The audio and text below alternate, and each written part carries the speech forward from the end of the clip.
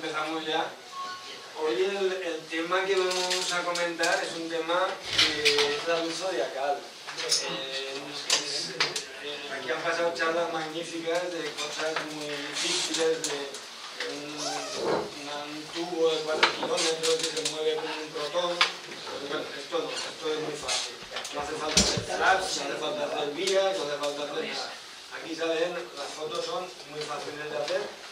Y lo que parece al uso de acá, pues bueno, pues es una de las cosas a nivel de astronomía que todos hemos oído hablar de ella, seguramente en todos los manuales, en todos los libros, en todos los sitios está, pero verla, verla, pues seguramente no la habéis visto mucha gente, o es más complicado de ver. Eh, casi siempre que salen los manuales, pues lo pone como la esquiva, la tenue, la difícilmente observable, o sea, es algo así como que no es tan fácil. Pero si vemos los libros antiguos, pues en los libros antiguos veis el cono este de luz que se proyecta sobre la eclíptica y que se veía muy bien. Lo que pasa es que, como veis, pues no hay contaminación lumínica, no hay ciudades, no hay. Entonces en los dibujos se ve muy bien, en la foto ya se ve un poquito más complicado. Pero, bueno, vamos a intentar a ver si vemos cosas de la base de acá. Eh, Plácido, en la conferencia que dio de los planetas, bueno, de los neptunianos, eh, lo comentó que dice, es, esa luz que no se ve casi nunca. Yo no la he visto nunca. Dicen que es muy chula. No sé quién la ha visto. Bueno, la ciudad ahora creo que no está, pero bueno, no le importará que le nombre como tal.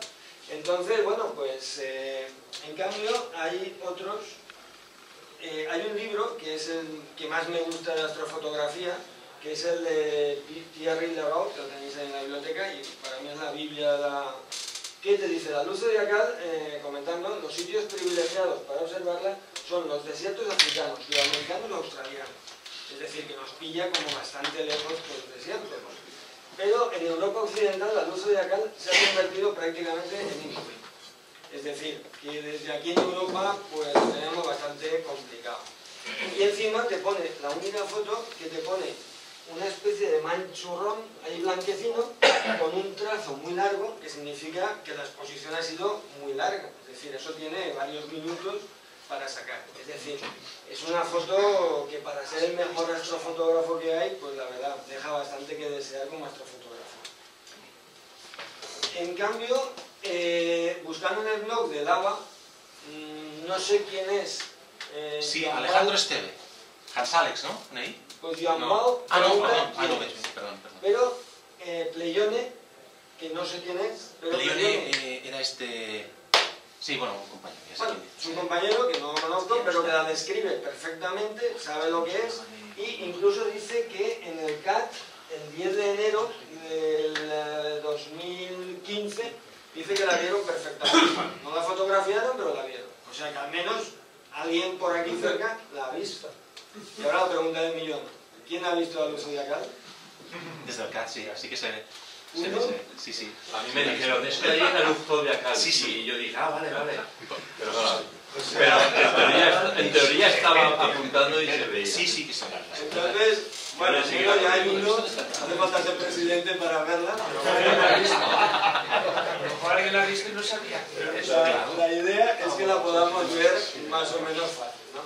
Bueno, pues yo eh, también tenía ganas de ver la luz zodiacal, eh, pues eso, como un poco como el mito de a ver cómo está, dónde se ve, qué hay. Entonces, pues buscando por internet encontré una página en la que anunciaban un taller de astrofotografía para ver la luz zodiacal. Entonces esto sucedía el 8 al 10 de marzo del 2013 y la gente que lo daba era muy buena, porque era eh, Ramón Naves, que sabéis que es un astrónomo que tiene un montón de, bueno, publicaciones, lo que nadie ve de planetas extrasolares, los pilla con un telescopio al lado de Barcelona y no sé cómo lo hace, pero lo hace y muy bien. Y luego los otros tres eran eh, eh, más de fotografía nocturna, es decir, que les gusta mucho la, enfocando con una ermita abandonada, en esta gente, ¿no? Y entonces, pues bueno, allá que nos fuimos, las condiciones estuvieron a punto de suspenderlo, pero como es habitual, pues estaba nublado, con frío, con lluvia, con... Lo que pasa como ya estaba montado aquello, pues dijeron, pues bueno, seguimos y, y a ver qué pasa, ¿no? entonces, en Ager. En Ager es en Lérida, en el Montsec.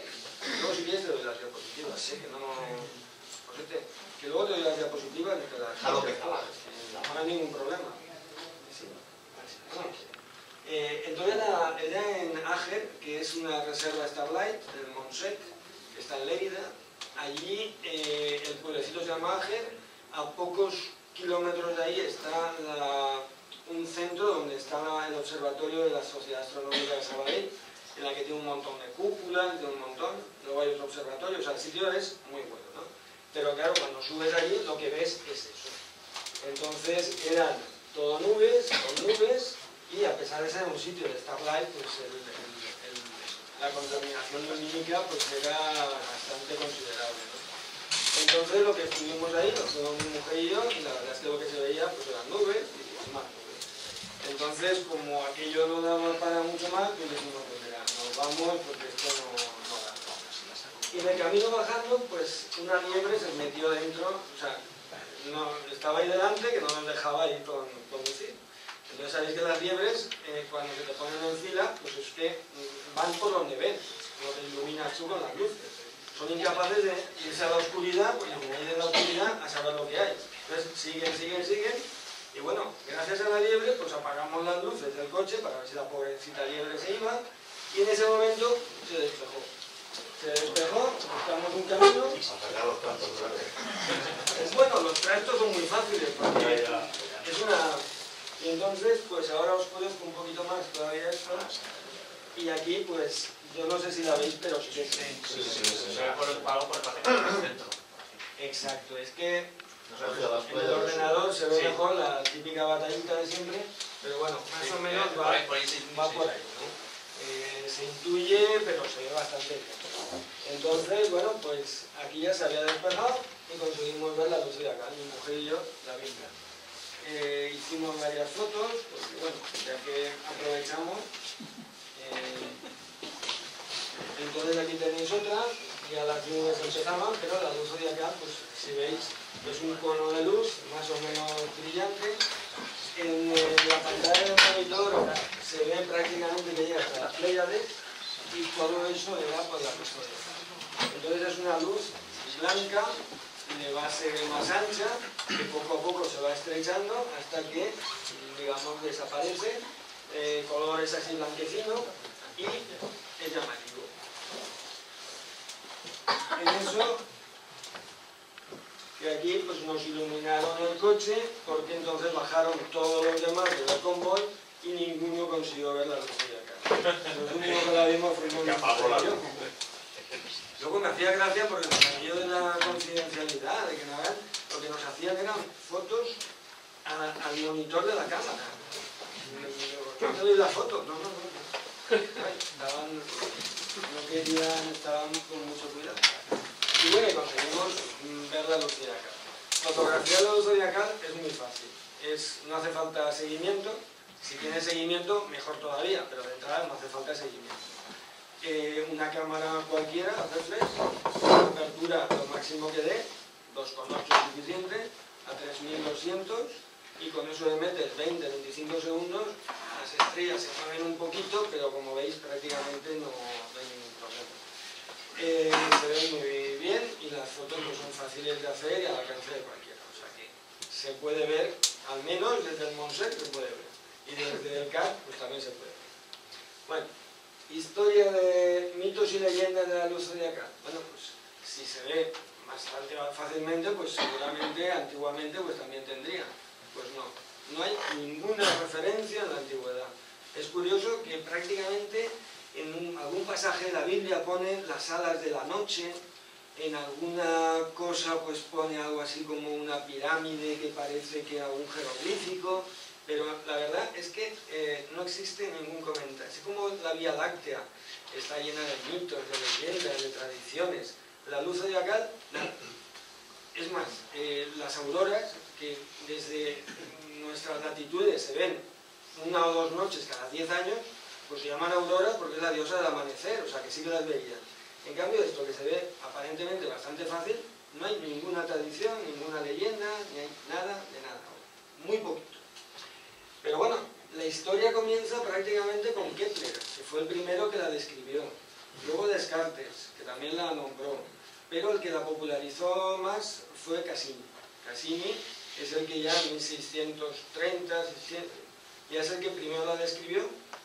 Luego dice que desapareció durante 20 años y luego la volvió a hablar.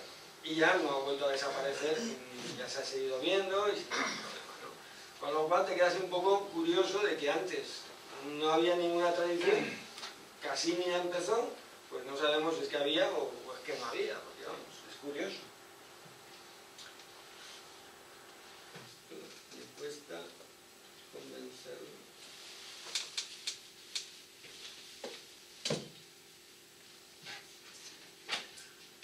Yo lo intento, pero creo que pasa.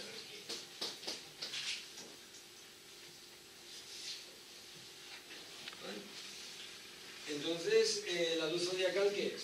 Es una banda de una luz débil, eso sí, triangular, que se puede apreciar en el cielo nocturno, que va por el plano de la vía de la eclíptica. Está causada por la dispersión del polvo, de las partículas de polvo.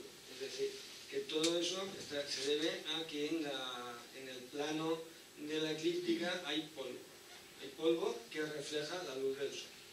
Entonces, ¿De dónde viene ese polvo? Pues ese polvo viene de varios sitios. Uno de los asteroides, otro puede venir de los cometas, y he puesto en otros porque últimamente pues, también puede venir quizá de algún planeta que venga de fuera del sistema solar, también ahora hay restos de cohetes, de- pero bueno, ya de desechos. Pero habitualmente viene de dos sitios, de los asteroides y de los cometas. Los asteroides, sabéis que la historia de los asteroides es muy, muy bonita porque eh, los asteroides eh, no se llamaban asteroides, por supuesto.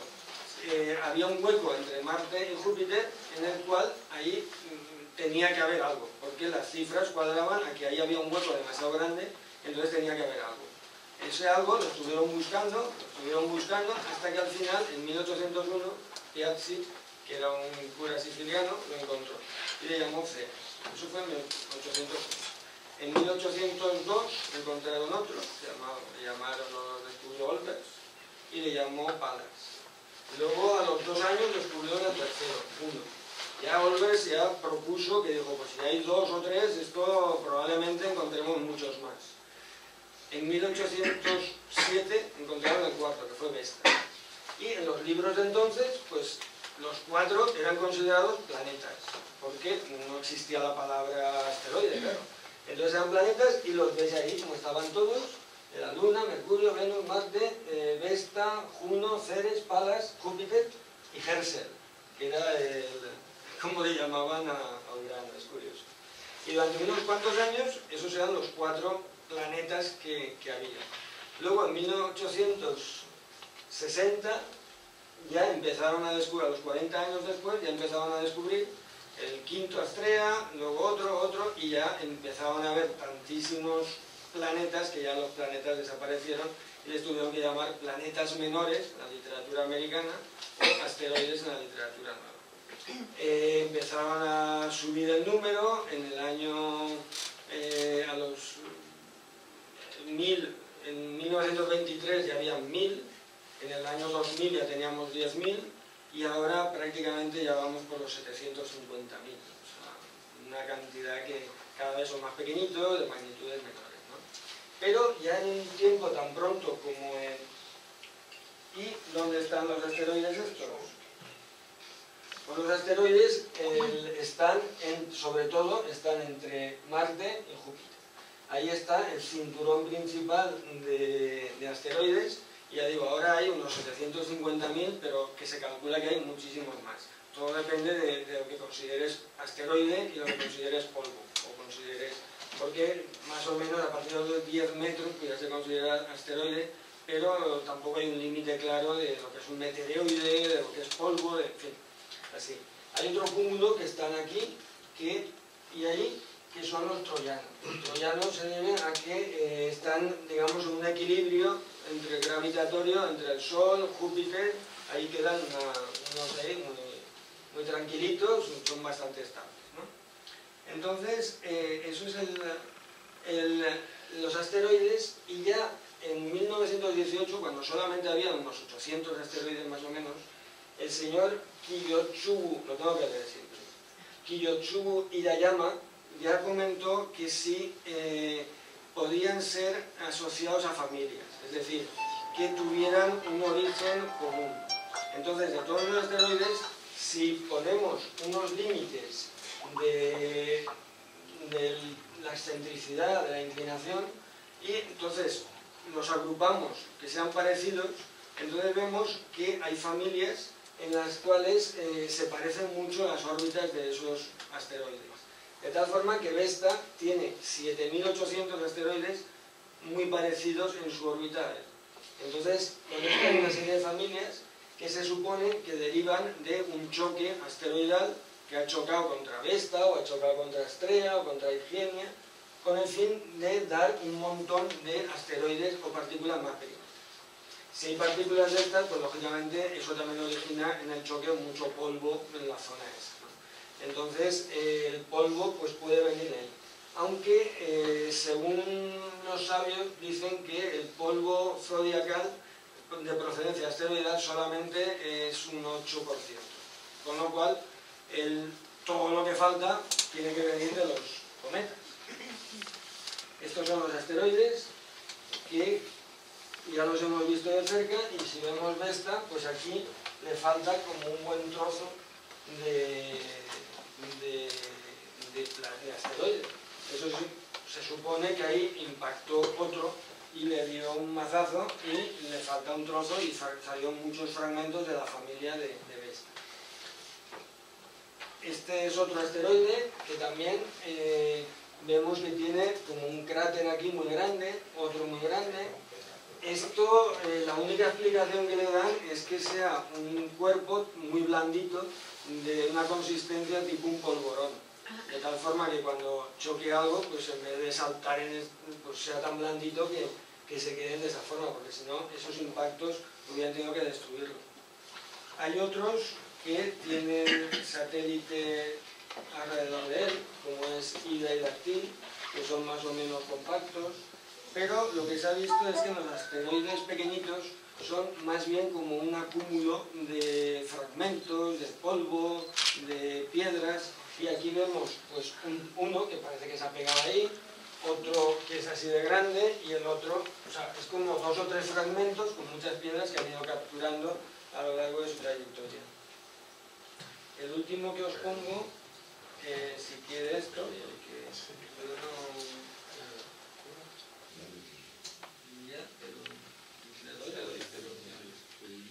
Venu, que también eh, da la impresión de que es todo un amasijo de un aglomerado ahí de, piedras, de, fijaros como hay ahí algunos, que son como trozos pegados, eh, más o menos con una unión gravitatoria pero muy pequeña porque eso prácticamente gravedad es, muy pequeñita. Bueno, esos son los asteroides, pero que ya digo que prácticamente contribuyen solamente a un 8% del, del polvo. Hay algunos de ellos que los hemos visto que se han desintegrado, es decir, eh, algún choque que ha habido entre dos objetos ya ha empezado a hacerse fragmentos y a fragmentarse. Todo eso pues contribuye al, polvo de la nube zodiacal que comentamos. Y el segundo, el segundo gran culpable del polvo a nivel del sistema solar, ¿cuál es? Pues cometas. Eh, la definición de cometa ya sabéis que es como una especie de bola de agua carbónico con polvo. Entonces eh, los cometas están muy tranquilitos, lejos, pero cuando se van acercando al, sistema solar interior, al Sol sobre todo, cuando empiezan a calentarse y al calentarse empiezan a eh, emitir partículas de polvo y de iones. Entonces los cometas en un principio estaban muy mal vistos porque cuando aparecía un cometa presagiaban malos augurios y malas cosas. Eh, de hecho, cuando veían un cometa era un desastre, de ahí la palabra, aunque luego se ha visto que desastre pues, no tenía nada que ver, eh, cometas a simple vista se ven aproximadamente cada dos, tres años se ve uno a vista, ¿no? Y, el primer, y se suponía que eran emanaciones de la atmósfera, en fin, una cosa un poco extraña, pero al final cuando Halley es el que calculó las órbitas de los cometas, vistos históricamente, y se dio cuenta que había uno que tenía la misma trayectoria.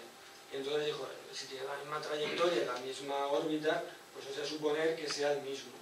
De tal forma que dijo, pues si es el mismo, dentro de X años volverá a aparecer. Y a partir de ahí, pues ya se sabe que los cometas pues son eh, del sistema solar, un miembro más. ¿no? Entonces los cometas, cuando por ejemplo el Halley tiene un periodo de 76 años y da la vuelta. Cuando está en las fases lejanas, eh, prácticamente no emite gas, ni emite polvo, ni nada, está ahí tan tranquilito, pero cuando se va acercando es cuando emite, eh, emite más polvo y emite partículas. ¿Eso qué significa? Pues que cada vez le queda menos. Cuantas más veces pase, cada vez tendrán menos eh, partículas para, para, evaporar. Entonces un cometa, pues la vida media de un cometa pues pueden ser muchos años, pero si pasa un millón de veces el Halley, pues al final se va a quedar prácticamente sin nada. Entonces eh, todos los cometas acabarán sin material volátil y por lo tanto acabarán como asteroides, al fin y al cabo. ¿no? Con lo cual el límite entre asteroide y cometa pues se difumina bastante. ¿no? Pero eso hace que si al cabo de unos pocos millones no habría cometa, porque sabrían sí, pues es lo que orienta a pensar que hay una reserva de cometas muy lejana, que es la nube de Kuiper, la nube de Oort, que sería un reservorio de miles de millones de cometas que en algún momento van cayendo al sistema solar interior. Y esos cometas pues van soltando la, el polvo. Esto está tomado en, en la albufera, en la albufera de Valencia, y es el ISON y se veía perfectamente a la puesta de sol. Hay otros que también se ven muy bien, porque de vez en cuando algunos de estos pues nos dan una alegría y tienen también como estallidos, como cambios. Habitualmente los cometas siempre brillan menos de lo que predicen las efemérides, porque siempre te dicen el cometa del siglo y luego nunca pasa nada, pero hay algunas veces que, que sí. Y en algunas ocasiones, pues estos cometas pues tienen como llamaradas, como salidas, y ese fue en concreto el Holmes, y lo vimos y durante bastantes meses estuvo brillando muy bonito. Hay otros cometas que lo tienen la desgracia de pasar muy cerca del Sol. Como es un aglomerado de partículas, pues cuando el cometa viene por aquí, coge una velocidad, coge velocidad y la propia mm, gravedad diferencial y demás hace que no aguante y muchos de ellos se desintegran cuando pasan cerca del Sol. Este teníamos, también lo habían anunciado como el cometa del siglo y cuando pasó cerca del Sol se desintegró, se quedó una nubecita y no consiguió ver para, para nada. Pero contribuyó a la nube zodiacal llena de polvo, claro.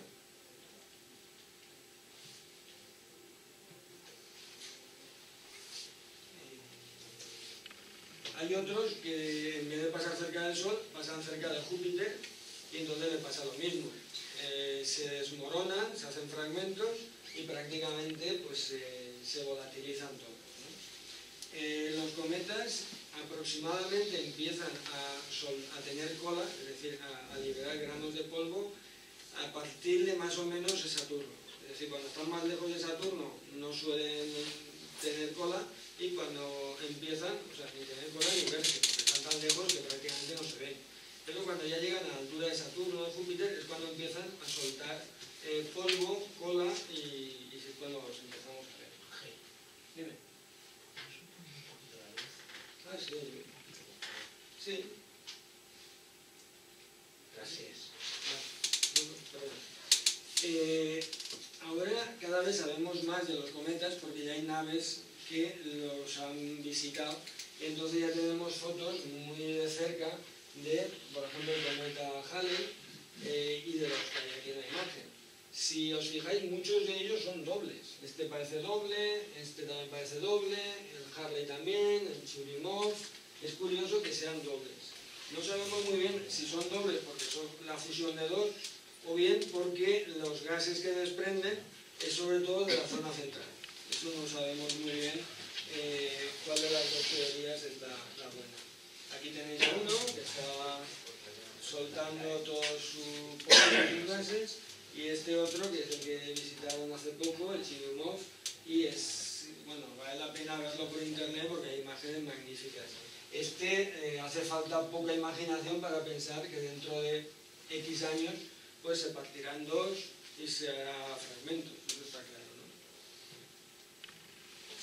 Entonces, eh, ya hemos visto que todos estos cometas, asteroides, pues van ensuciando, por decirlo de alguna manera, el sistema solar. Entonces, el sistema solar interior, si han pasado 4.000 millones de años, hay tanto cometa, pues eh, estaría todo lleno de polvo y estaría hecho un desastre, ¿no? En la práctica eso no sucede. ¿Por qué? Pues porque hay un mecanismo que el polvo ese se va eliminando. Eh, las partículas muy pequeñitas, de menos de una micra, parece que la propia luz solar y el viento solar los expulsa fuera del sistema solar. Pero las que son un poquito mayores, de 2, 3, 5 micras, que es la mayoría del polvo del sistema solar, hay un efecto que se llama efecto Yarkovsky, que más o menos viene a decir que la luz del sol calienta las partículas y esas partículas las vuelven a, reemitir en forma de, calor. Pero eh, como van girando, el efecto aquí está más caliente, aquí está más frío y aquí hay un diferencial al dar la vuelta. Entonces, ese que van dando la vuelta y con la temperatura diferente hace que cambie un poquito la trayectoria de forma que crea una espiral que va cayendo hacia el Sol. Es curioso, pero es la forma que tiene de eliminarse el, polvo que hay. Ese polvo hay varios cálculos, pero dependiendo del material y dependiendo del diámetro, se calcula que una partícula a la altura de la Tierra, digamos, tardaría en caer al Sol unos 7.000 años. Es decir, que no es tanto. Es una forma de eliminar mucho polvo. Eh, hay otros que ponen varios millones. Pero bueno, más o menos la idea es que al final el polvo va cayendo y se va eliminando. Y hay otro sistema de eliminación del polvo que es mucho más bonito, que es cuando chocan con nosotros, o con, cualquier otro cuerpo del sistema solar. Cuando chocan, pues lo tenemos unas estrellas fugaces. Las estrellas fugaces no más que trocitos de polvo desprendido de cometas o de asteroides. Eh, no vamos a hablar de las estrellas fugaces, cuando queráis es un tema muy bonito y todos lo conocemos, pero ya hablaremos de todo. Bueno, entonces al final ¿con qué nos quedamos? Pues con que la nube zodiacal es polvo acumulado sobre todo en las proximidades del Sol, pero que llega prácticamente hasta la altura de Júpiter, Saturno. Eh, en Júpiter y Saturno hay mucho menos y conforme nos vamos acercando al Sol, pues hay mucho más. Con lo cual sería una forma pues así como de lenteja o, de ovni, para que nos situemos. ¿De? Entonces, ahora que ya no sabemos la teoría, pues vamos a, la práctica, es decir, eh, ¿cómo se ve la luz zodiacal? Bueno, pues la luz zodiacal se ve a simple vista, no hace falta eh, prismáticos ni hace falta nada. Como veis, mide muchos grados, 50, 60, 70 grados, y de ancho 30 o 40 grados. Eso sí, hay que ir a lugares que sean muy oscuros. Si, vamos, si hay luna no se ve nada, si hay contaminación lumínica no se ve nada y si está nublado, pues bueno, por supuesto. ¿Y cuándo? Ese es el problema, que no se ve siempre. No se ve siempre porque eh, donde estamos, si estuviéramos en los trópicos, lo que decía el fotógrafo, si estuviéramos en los trópicos sí que se vería prácticamente siempre pero el problema es que cuando se ve bien es cuando la eclíptica está muy vertical. Si la eclíptica, es decir, donde transcurren todos los planetas y satélites y la luz zodiacal está prácticamente horizontal, pues la, contaminación, la propia atmósfera se absorbe y no se ve. Entonces hay que buscar la época en la que se vea la luz zodiacal. ¿Cuándo se ve? Pues si aquí tenemos eh, la eclíptica más o menos a las dos horas que se ponga el sol, porque para verlo, no lo he comentado, pero para verlo tiene que ser de noche. Es decir, cuando se pone el sol, va bajando, primero empieza el crepúsculo eh, civil, cuando ya esté 6 grados por debajo del horizonte empieza el crepúsculo náutico, cuando está a 12 grados empieza el crepúsculo mm, astronómico, y cuando está a 18 grados por debajo del, horizonte es cuando ya empieza la noche de verdad, que es cuando se empieza a ver la luz zodiacal. Antes hay luminosidad y no se ve. Entonces hay que esperar a que esté 18 grados por debajo del horizonte y eso en primavera pues sucede más o menos a la hora y media, dos horas de, que se ponga el sol. Si esperamos más, el sol está más abajo, pero todo el cono de luz zodiacal también se baja más, con lo cual eh, se ve menos. Entonces aquí veis que en enero se ve bien, en febrero se ve mejor, en marzo se ve estupendo, en abril ya empieza a fallar un poquito, en los meses de verano prácticamente eh, la, luz, la eclíptica está muy bajita, entonces no se ve, y poco a poco otra vez se va recuperando. También hay que tener en cuenta que no coincida la luz zodiacal con la Vía Láctea, porque si tenemos la luz zodiacal que se veía poco y está superpuesta a la, a la Vía Láctea, entonces ya no se ve. Entonces hay que buscar los meses buenos para poderla ver. Y los meses buenos son justamente los que estamos ahora. Enero, febrero, marzo y abril. Esos cuatro meses son los mejores que hay para ver la luz zodiacal en la puesta de sol. Si os apetece madrugar mucho, es al contrario. Si os apetece madrugar y levantaros a las 4 de la mañana, eh, hora y media antes de que salga el sol, entonces lo podéis ver en septiembre, eh, octubre, noviembre. Casi todas las fotos están tomadas por la tarde. Y casi todas las fotos tenéis eh, a las Pléyades más o menos para que os situéis. Entonces, mm, mi consejo es que por la tarde se ven mejor. ¿Dónde? Pues tenéis que ir a un sitio oscuro. Eh, en la península ibérica, si os vais a Atacama y a los desiertos, pues será mucho mejor, pero como eso está un poquito más complicado, pues si nos vamos a España, eh, como veis, la periferia, la costa, prácticamente en ningún sitio es bueno para verla, y en el centro sería ideal si no estuviera Madrid, pero como está Madrid, pues hay que separarse de Madrid. Entonces te queda como un cinturón de oscuridad alrededor de Madrid. Eh, nosotros estamos, el observatorio del CAT está en un buen sitio, en la zona de Cuenca, Trabacete, es un sitio muy bueno, con un pequeño inconveniente, y es que la luz zodiacal está en aquella dirección, es decir, está en la dirección de Madrid, con lo cual no es perfecto, perfecto. El sitio mejor todavía sería la zona de eh, Badajoz, Cáceres, Ciudad Real, que evitas Madrid, lo dejas de espaldas. En el Valle del Jerte, por ejemplo, el astrofotógrafo Casado tiene unas imágenes absolutamente increíbles. Entonces nos fuimos a Tragacete, Cuenca, y apago la luz un momento. Y nada más bajar del coche, desde Tragacete, ya se veía la luz de Madrid, se veía la luz de Cuenca, pero ya se empezaba a ver un poco la luz zodiacal. En cuanto te acostumbras a la vista un poquito, pues ya la luz zodiacal la vimos en todo su esplendor y aquí creo que sí que se ve, ¿no? Bueno, entonces ahí así que no hay duda de que la luz desde Tragacete se ve perfectamente. Entonces eh, se distingue de la de Madrid en el color, la de Madrid es, bueno, Madrid, contaminación lumínica de cualquier ciudad, vamos, Madrid, eh, es así amarillenta, marronácea y con forma de semiesfera, que más o menos es eh, lo que contamina. Mientras que la zodiacal se distingue perfectamente porque es mucho más en forma de cono y se dirige, como veis, hacia las Pléyades. Eh, aquí tenéis Andrómeda y bueno, ahí están las Íades y, se ven muchos objetos por ahí. Entonces, desde Tragacete la vimos muy bien. Mi mujer y yo disfrutamos de aquella noche porque no había ninguna duda de que eso era la, la luz zodiacal. O sea que os invito a que la veáis porque se ve. Esta es una foto muy curiosa. De estas hay pocas, de estas se ven pocas veces, que casi siempre la luz zodiacal la sacan con el horizonte, pero no hace falta sacarla con el horizonte. Y aquí la veis eh, cómo está, no sé si os situáis, pero estas tres es el cinturón de Orión, este es el, em, el de Orión, proyectadas las Íades, las Pléyades y la luz zodiacal. Y la Vía Láctea está ahí. ¿Qué veis más brillante, la luz zodiacal o la Vía Láctea? La luz zodiacal.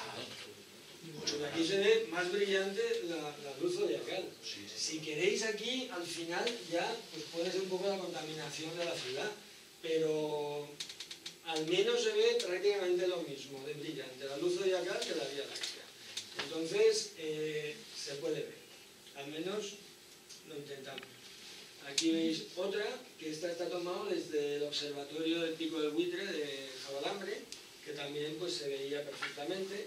Esta ya la hicimos un poquito más, eh, aquí esto es Orión, ya se veía más abajo, pero también se veía sin ningún problema. Eh, desde la Montalbana, Montalbana está eh, un poco antes de llegar a Titaguas, hay un puertecito, pues ahí, entre Titaguas y Chelva, y se ve también perfectamente.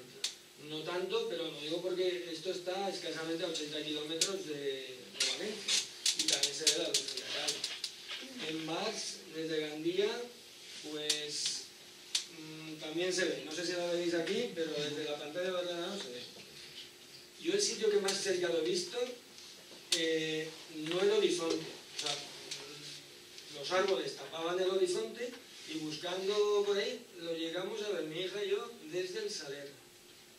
Es curioso que desde el saler, sin, protegiéndote eh, de la contaminación de abajo, pero comparando un sitio y otro, desde el saler se veía. O sea que el mito de que la luz de acá no se ve nunca, todo esto, pues sí, pero bueno, eh, buscándola se puede encontrar y no hay ningún problema.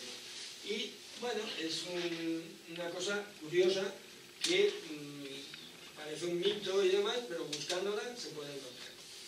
Bueno, y con esto de la luz zodiacal, ¿qué más nos falta Bueno, eh, os he dicho la, la nube zodiacal está sobre todo hacia, hacia el Sol, pero también continuaba hacia atrás, digamos, hasta Júpiter, Saturno. Entonces, eh, hasta ahora solamente lo hemos orientado hacia, hacia el Sol. Eh, ¿Se podrá ver más hacia atrás o no? Bueno, para entender esto un poquito, vamos a ver lo que es la luna en cuarto creciente y la luna llena. Todos sabéis que la luna llena eh, brilla muchísimo más y corría mucho más cuando es luna llena no brilla el doble que cuando es cuarto menguante, sino que brilla mucho más. Eso algunos sabéis, bueno, supongo que sabéis el motivo. El motivo es que la luna no es una, una bola de billar. Entonces, cuando está iluminada la mitad, eh, brilla menos que la mitad de la luna llena. ¿Por qué? Pues porque en esta parte iluminada hay muchas sombras. Entonces, de la mitad iluminada, la mitad son sombras que no brillan, con lo cual eh, es muy poco. Cuando la luna tiene dos o tres días, hay una luna muy estrechita, pero encima con las sombras muy largas, con lo cual mm, brilla muy poquito. Va brillando más, más, más, las sombras se van haciendo cada vez más pequeñitas hasta que llega la luna llena y entonces no hay sombras y todo es como un espejo. Entonces el brillo se dispara. Eso mismo pasa no sé si alguna vez lo habéis visto, pero es lo mismo que pasa cuando eh, está el sol detrás y nuestra sombra, eh, aquí aparece más luz que aquí. Eso se llama corona de sangre. No sé si lo habéis visto alguna vez, pero un fenómeno curioso que se ve, yo lo he visto en los campos de arroyo de la albufera, se ve muy bien, pero paseando por el cauce del Turia, que haya césped, se ve y cada uno ve su corona de sol, su corona de santo. Bueno, es, curioso, ¿no? Y no ves la de la colera. Entonces, con la luz zodiacal pasa algo parecido. También se ve justo en el lado contrario a la, sombra nuestra. Lo que pasa es que es muchísimo más difícil de ver. Eso se llama luz antisolar o Hegesheim. Hegelsheim es la palabrita para ver la nube esta de, más blanca, como una luz zodiacal, pero que es como una especie de globo más o menos centrado, alargado, que está justo en la zona opuesta al, Sol. Entonces el Hegelsheim es un término que es alemán y se llama contrabrillo. El primero que lo describió fue eh, el astrónomo Spritz en 1730, pero el que lo popularizó y le dio su nombre fue Alexander von Humboldt. y también en la, hace digamos, hace unos 200 años. Antes nadie sabía nada del GGS. ¿Y ese se puede ver? Bueno, pues se puede ver, pero ahí sí que hace falta lugares muy, muy oscuros, ya no hace falta, ya hay que seleccionarlo más. Eh, ¿Cuándo? Pues cuando esté alto en el cielo, cuando esté lejos de la Vía Láctea, entonces una época buena para ver el Heim es en noviembre, la mitad de diciembre, porque la otra mitad se superpone con la Vía Láctea, y también en febrero y marzo pues se puede ver y también se ve, en teoría, se puede ver a simple vista, pero en la práctica a simple vista esto ya es más complicado. Eh, tienes que ir a un sitio, pues eso, desiertos, sitios más oscuros, porque si no, muy difícil. Pero en fotografía sí que hay algunas muy bonitas. En fotografía, a ser posible ya con seguimiento, con un poquito de seguimiento, en 30 o 40 segundos ya han pillado el Hergelsheim desde Extremadura, lo han pillado sin ningún problema. Cuando estaba la forma de saber dónde está es muy fácil. No tenéis más que coger cualquier planetario, de estelario, de cualquiera, y poner la sombra de la Tierra. La sombra de la Tierra, ahí es donde está el ahí, porque justo es el contrario. Eh, los planetarios lo usan para saber cuando pase por la Luna hay un eclipse. Pero con eso te sirve, te sitúas dónde está.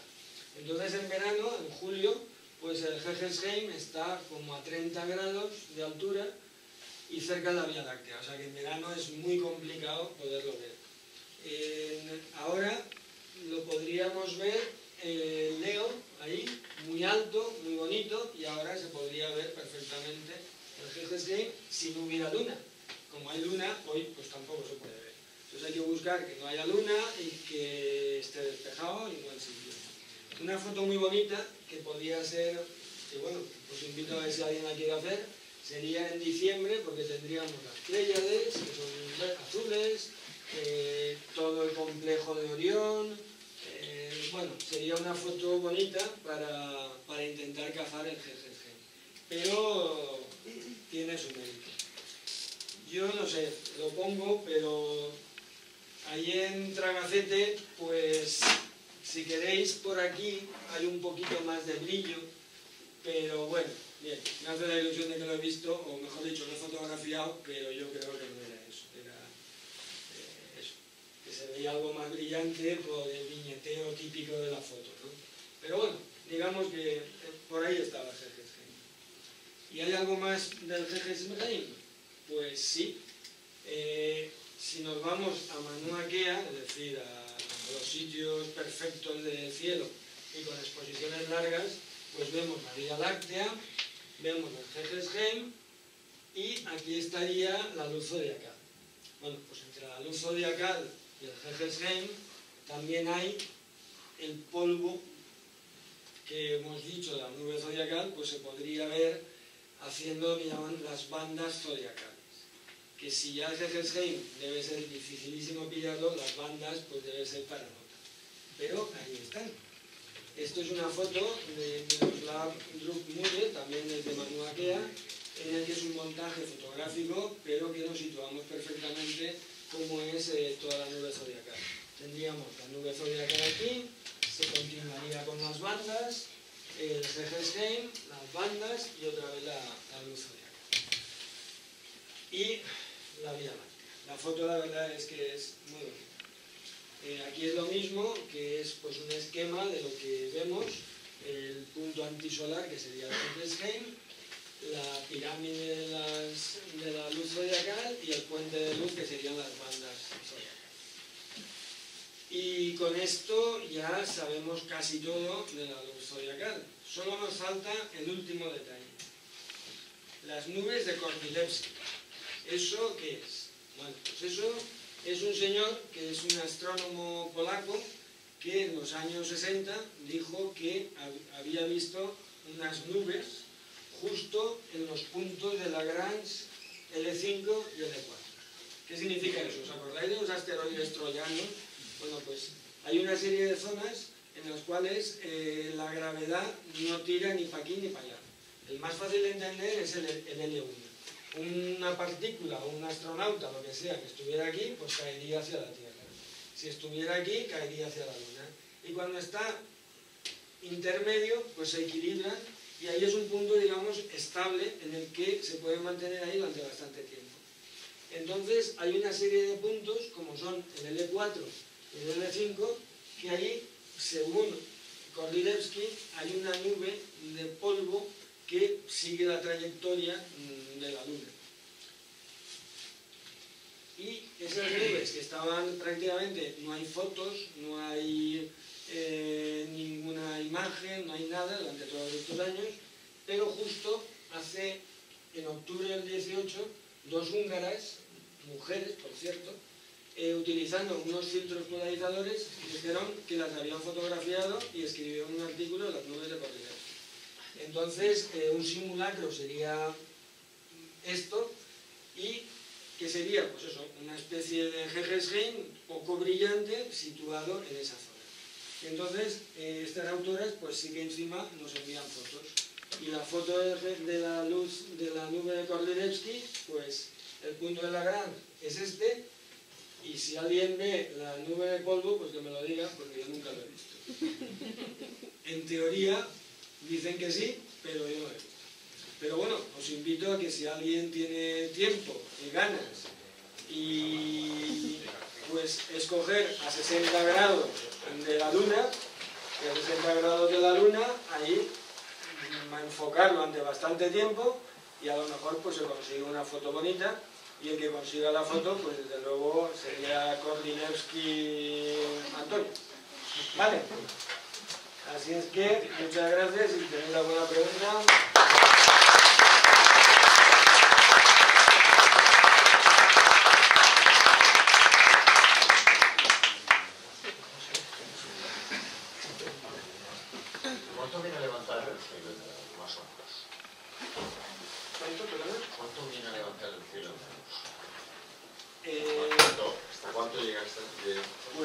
fotos que os he puesto son de gran campo.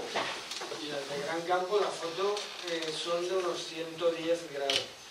Con lo cual 80 grados, 80 grados, lo que pasa es que nunca sabes dónde acaba. Eh, se va, va atenuando la zona de Tragacete y yo lo he visto, dijéramos, a la otra parte de, de Tragacete. Tragacete pilla la parte de Hueca y yo estoy en la parte de Guadalajara. Yo sí que la he visto también. Yo te preguntaba hasta cuánto llegaba hasta arriba, porque yo recuerdo que es que, bastante, es que en teoría, si es muy buen cielo, sube, sube, luego continúa con las bandas eh, ecuatorianas, las bandas zodiacales. Mira, si, si sigue, difusa, no sabes dónde, dónde termina. hasta Hegelsheim, que está eh, pues si el Sol está a 18 grados por debajo, el Hegelsheim está a 18 grados encima y va subiendo conforme va girando. Entonces no hay un límite como tal, depende del cielo y también dependerá pues, de la exposición que le pongas a la cámara, pero bueno, 60-70 grados se ve sin ningún problema. Y yo sí que lo había visto. Había Pascuas. Sí, sí, Pascua es ideal. Febrero, marzo, abril, por ahí. Pascuas con mucho frío, muy buen mucho frío. ¿Qué pasa frío? ¿Vale? Está el frío y está el frío de allí.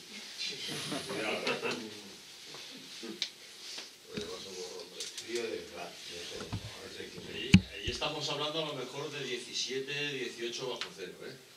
En Pascua, alguna noche, yo las peores Pascuas las he pasado allí en mi vida, pues prácticamente los tres días nevando en torno a 12, 15 bajo cero de media todos los días. Son 200. O sea que de casi no nada. Y nada, bueno, aquí por la canadiense. Y nevaban. Todo lo que viste fue los coñacos de la